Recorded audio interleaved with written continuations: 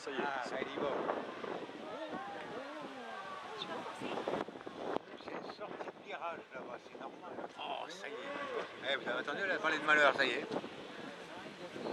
Mais il est coincé.